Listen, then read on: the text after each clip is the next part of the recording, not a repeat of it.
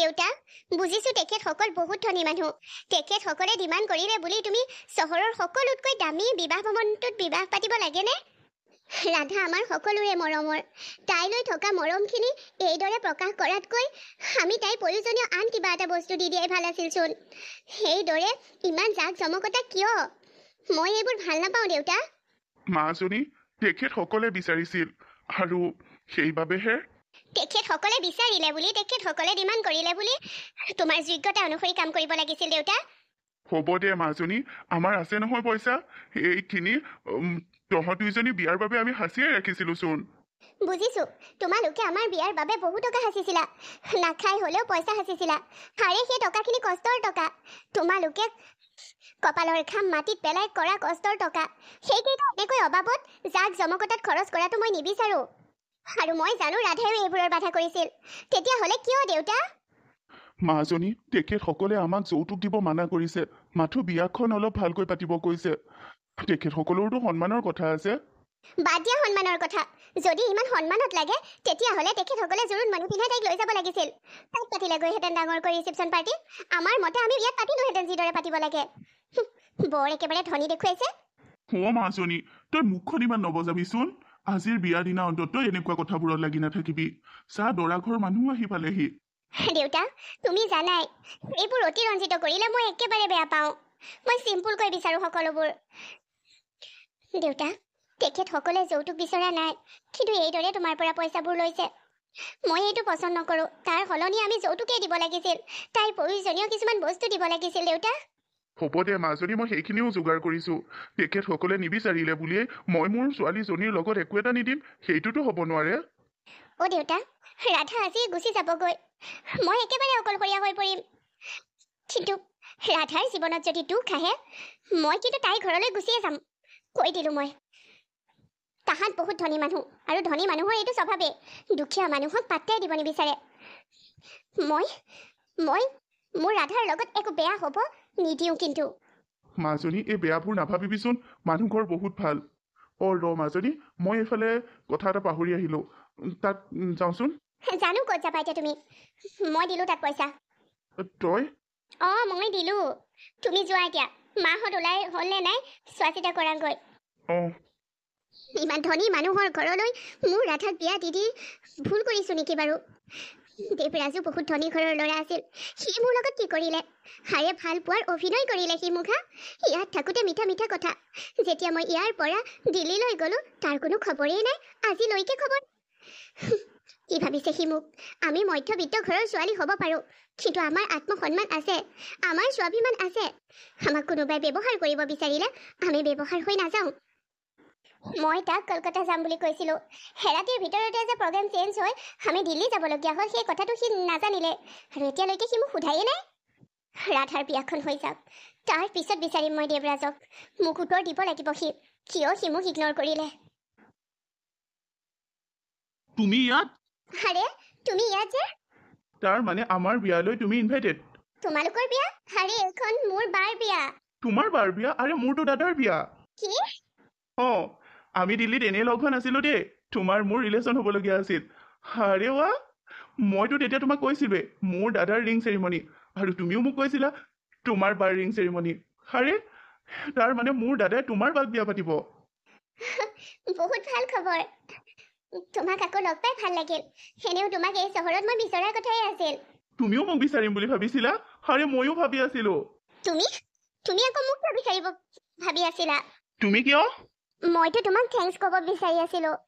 দিল্লীত কৈছিলোঁ তথাপিতো ভাবিছিলোঁ নিজৰ চহৰত লগ পাই এদিন থেংকছ ক'ম আৰু আমাৰ ঘৰলৈ ইনভাইট কৰিম। এতিয়া লগ পালোঁ ৰিলেশ্যনত আহিলোঁ ভালেই হ'ল দিয়া।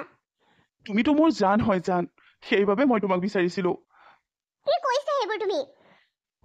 মানে মই এইটো ক'ব বিচাৰিছো তুমি ৰোহা মই যাওঁ। ৰ'বা। আকৌ কি হ'ল? তুমি মোক কিয় অ, এনেই।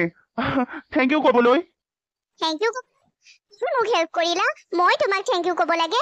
তুমি মোক থেংক ইউ ক'ব বিচাৰি ফুৰিছিলা। জানা তোমাৰ নামটো পাহৰি থাকিলো। তোমাৰ নামটো কি আছিল? ৰাণী। অ ৰাণী বহুত ধুনীয়া তোমাৰ নামটো। মোৰ নামটো পাহৰিলা চাগে ন? মোৰ নাম গুঞ্জন। পিছে তোমাৰ দাদা তোমাৰ নে তোমাতকে ভাল? মোতকে ভাল মানে মই বেয়া ন? চেলেং পেটেং আৰু এনেকুৱা চেলেং পেটেং ল'ৰালৈ মোৰ বাক বিয়া দিয়াটো মই সুবিধাজনক বুলি নাভাবো। এতিয়াও সময় আছে বিয়া ভাঙিবলৈ গতিকে জানি ল'ব বিচাৰিছো তোমাৰ দাদা তোমাৰ দাদা আৰু তোমাতকৈ ভাল। চেলেং পেটেং এইটো কি শব্দ? চঞ্চল সেইটোতো বুজিছা? নাই নাই নাই মই চঞ্চল একেবাৰে নহয় মই বহুত গহীন হয় আৰু মই মই যিবোৰ কৰোঁ নহয় সেইবোৰ তোমালোকে কৰিবই নোৱাৰা। মই অফিচত যাওঁ কিমানখিনি কাম কৰোঁ মেনেজ কৰোঁ দিনটো ৰৈয়ে নাথাকোঁ। দেখা গৈছে বুজাও গৈছে। কথা কোৱাচোন তোমাৰ দাদাৰ নাম কি? দেৱৰাজ কি? তুমি ইমান আচৰিত হৈছা কিয়? মোৰ দাদাৰ নাম শুনিয়ে ভয় খাইছা। সি পিছে বহুত ফেমাছ ডাক্তৰ হয়। সি কিন্তু তোমাৰ বেমাৰৰ ট্ৰিটমেণ্ট ল'লে ভয়তে তুমি ক'ৰবাত বিচনাৰ তলত সোমাবা যেনহে মোৰ ভয় হৈছে। টেবুলৰ তল বিচনাৰ তল নে কি? ফাল্টু নকৰিবা। সেই চহৰৰ famous doctor Devraj Devraj Chowdhury? Yes Rani Dutta Devraj Chowdhury এনেকৈ কিয় কৈছা তুমি? কেনেকৈ সম্ভৱ হ'ব পাৰে? সেয়াইতো আহা হা মোৰ দাদাৰ লগত চিনাকি হৈ লোৱাহি। নাই কোনো প্ৰয়োজন নাই। তাৰ মানে তুমি তোমাৰ বাৰ যাৰ লগত বিয়া হ'ব মানে তোমাৰ ফ্ৰেণ্ডৰ নামটোৱে নাজানা? মই সুধিবই পাহৰি আছো। তেন্তে এতিয়া সুধি কনফাৰ্ম হৈ লোৱা। য়েছ ৰাধা তই কচোন তোৰ যাৰ লগত বিয়া হ'ব মানে ভিনদেউৰ নাম দেৱৰাজ চৌধুৰী নেকি? হয় ৰাণী। দেৱৰাজ চৌধুৰী। এই চহৰৰ বিখ্যাত হাৰ্টৰ ডাক্তৰ। কি? তেতিয়াহ'লে তই মোক আগতে কোৱা নাছিলি কিয়? কিয় তই মোক এবাৰো জনোৱা নাছিলি? তই মোক নামটো সুধিছিলি নে নাই মই তাকো পাহৰিলোঁ। নামটো ক'বলৈ পাহৰিয়ে থাকিলোঁ কিন্তু ডাক্তৰ কৰে মই তোক এইবোৰ কৈছিলোঁ নহয়। সেইদিনা কেলে সকলোবোৰ ক'ব লৈছিলোঁ তোক। তোৰ ফোনটো একো নুশুনিলোঁ বুলি মোক মেছেজ কৰিছিলিচোন তাৰ মানে সেইদিনা মই যে নুশুনাকৈ অলপ সময় আছিলোঁ তই এইবোৰকে কৈ আছিলি। অঁ। তই জানিছিলি মই নুশুনিলোঁ বুলি। তেতিয়া মেছেজত নকলি কিয়? কিয়? মই তই শুনিলি বুলিহে ভাবিছিলোঁ। মেছেজত ক'লোঁ তই সকলোবোৰ শুনিলি নে তই শুনিলোঁ? বুলি ৰিপ্লাই কৰিছিলি। মই ভাবিছিলোঁ তই আগৰখিনি কথা কৈছ তই। হে ভগৱান কি হ'ল? তই ইমান আচৰিত হৈছ কিয়? বহুত ভাল লোৱা জাননে? দেৱৰাজ এজন হাৰ্টৰ বিখ্যাত ডাক্তৰ হ'ল কি হ'ল? সেইফালৰ পৰা ফেমাছ কিন্তু অন্তৰখনো বহুত বেছি ভাল। বহুত বেছি ভাল। মই নজনাকৈয়ে তেওঁক ভাল পাই পেলালোঁ। সেই কেইদিনতে মই তেওঁৰ প্ৰেমত পৰি গ'লোঁ। এতিয়া তেওঁৰ পৰা আঁতৰি আহিটো বা আঁতৰি থকাটো মোৰ বাবে ইমান সহজ নহয়। তই এনেকৈ কিয় কৈছ কচোন? কি? তই দেৱৰাজক এই কেইদিনতে ভাল পাই পেলালি? বহুত বেছি। মই বহুত বহুত বহুত বেছি ভাল পাওঁ দেৱৰাজক। মই আজিলৈকে কোনো ল'ৰাৰ প্ৰেমত পৰা নাই। দেৱৰাজেই মোৰ প্ৰথম আৰু শেষ প্ৰেম। আৰু মই জানো দেৱৰাজেও মোক ভাল পায় এতিয়া নাপালেও বিয়াৰ পিছত ভাল পাব। তই কেনেকৈ কনফাৰ্ম হ'লি যে এতিয়া তোক ভাল নাপালেও বিয়াৰ পিছত ভাল পাব? এইবোৰ তাহাঁতৰ অভিনয়। ধনী মানুহৰ এইবোৰ অভিনয়। তোৰ জীৱনটো বৰবাদ কৰি পেলাব সি কিন্তু মই জীয়াই থকালৈকে মোৰ ৰাধাৰ জীৱন বৰবাদ হ'বলৈ নিদিওঁ। কাকো অধিকাৰ নিদিওঁ মোৰ ৰাধাৰ জীৱন বৰবাদ কৰাৰ। মই এই বিয়া ভাঙিম। আজি আৰু একো বিয়া নহয়। এই বিয়া মই ভাঙিম। ৰাণী তই কি বিচাৰিছ? মোৰ আৰু দেৱৰাজৰ বিয়া ভাগি যাওক আৰু সকলোৱে মোক গ্লানি গাওক। কিয়? কিয় বিচাৰিছ তই? দেৱৰাজ কি বেয়া? তই নালাগে তোৰ নিচিনা হাজাৰজনী আহি ক'লেও মই মানি নলওঁ দেৱৰাজ বেয়া বুলি। দেৱৰাজৰ লগত মই সময় পাৰ কৰিছোঁ। দেৱৰাজৰ লগত মই আছোঁ। দেৱৰাজক ওচৰৰ পৰা মই পাইছোঁ। তই কি পাইছ? তইতো এতিয়ালৈকে দেৱৰাজক দেখাই নাইকিয়া তোক কোনে কৈছে? মই দেৱৰাজক দেখা নাই লগ পোৱা নাই বুলি? যদি পাইছ দেখিছ তেতিয়াহ'লে তোৰ তেখেতৰ ওচৰত ভুল বুজাবুজি হৈছে। নাজানো তই কিয় দেৱৰাজক বেয়া বুলি ক'ব বিচাৰিছ বা দেৱৰাজৰ লগত মোৰ বিয়া হোৱাটো বিচৰা নাই ৰাণী। কিন্তু মই বিয়া হ'লে দেৱৰাজৰ লগতেই বিয়া হ'ম। দেৱৰাজ বহুত ধনী ঘৰৰ ল'ৰা বুলি নহয়। দেৱৰাজৰ মানসিকতা মই বুজি পাইছোঁ। দেৱৰাজৰ মনটো মই বুজিছোঁ। দেৱৰাজ বহুত ভাল ল'ৰা। আৰু মই মোৰ জীৱন সংগী হিচাপে দেৱৰাজৰ দৰে ল'ৰা এজনেই বিচাৰোঁ ৰাণী। মই বহুত বেছি ভাল পাই পেলালোঁ দেৱৰাজক ৰাণী। এতিয়া দেৱৰাজৰ পৰা আঁতৰি থকাটো মোৰ বাবে সহজ নহয়। ক কি কাৰণত তই দেৱৰাজৰ লগত মোৰ বিয়া ভাঙিব বিচাৰিছ? দেৱৰাজ বেয়া লোৱা নহয় অ' ৰাধা বাহিৰৰ পৰা দেখিবলৈ ভাল কিন্তু ভিতৰৰবোৰ বেয়া। এনেকুৱা ধনী মানুহবোৰৰ লগত হয়। বাহিৰৰ পৰা তোক এনেকুৱা দেখুৱাব এনেকুৱা বুজাব যেন তেখেতসকল বহুত ভাল দুখীয়া মানুহৰ কেয়াৰ কৰে বহুত বেছি ভাল। কিন্তু ভিতৰটো বেয়া। মানুহক প্ৰতাৰণা কৰিবলৈও তেখেতসকলৰ অলপো সময় নালাগে। তই জাননে? তই কেৱল মোৰ বা নহয় মোৰ বান্ধৱী হয় মোৰ জীৱনৰ সুখ দুখৰ সমভাগী হয়। তই মোৰ বাবে সকলোবোৰ। সঁচা কথাত ক'বলৈ হ'লে মা দেউতাতকৈও তই মোৰ বাবে আপোন। তোৰ লগত কিবা এটা হোৱাটো মই সহ্য কৰিব নোৱাৰিম। তোৰ কিবা বিপদ হোৱাটো মই কেনেকৈ সহ্য কৰিম ৰাধা? তোৰ লগত যদি দেৱৰাজে কিবা এটা অন্যায় কৰে মই কেনেকৈ সহ্য কৰি থাকিম ক? তইনো কি কৈছ? সিহঁতকে বেয়ানো? তই কেনেকৈ জানিলি? দেৱৰাজ বেয়া ল'ৰা বুলি? ধনী মানুহবোৰ তেনেকুৱাই। হয়তো জানিছিলিয়ে যে মোৰ বিয়া এখন বহুত ধনী ঘৰলৈ হৈছে। তেতিয়া তোৰ কোনো আপত্তি নাই। এতিয়া দেৱৰাজৰ কথা শুনি এনেকৈ আপত্তি কৰিছ যেন দেৱৰাজ তোৰহে কোনোবা চিনাকি আছিল? ৰাধা ৰাধা তই ইমান বেছি ভাল পাই পেলালি নে এইকেইদিনতে দেৱৰাজক যে দেৱৰাজৰ লৈ তই মোৰ লগত তৰ্ক কৰিছ? ৰাধা মই আগতে তোক যি কওঁ সেইটোকে তই মানি লৈছিলি। যিটো ল'ৰা কাকেদি তোক নাযাবলৈ কৈছিলোঁ তই যোৱা নাছিলি। আৰু এতিয়া এতিয়া তোৰ ওচৰত মোৰ কথাৰ কোনো ভেলুৱেই নাই। আছে ৰাণী আছে। এনেকৈ কিয় ভাবিছ ৰাণী? তোৰ কেৱল মই জীৱন নহয় মোৰ জীৱনো তই। তোক মনত দুখ দিয়াটো মোৰ উদ্দেশ্য নহয়। কিন্তু ৰাণী তই জাননে দেৱৰাজ বেয়া লোৱা নহয়। তই বেলেগ এজন মানুহৰ কথাই ভাবিছ চাগে। বহুত ভাল সি। আৰু মোৰ বিয়া হ'লে তাৰ লগতেই হ'ব।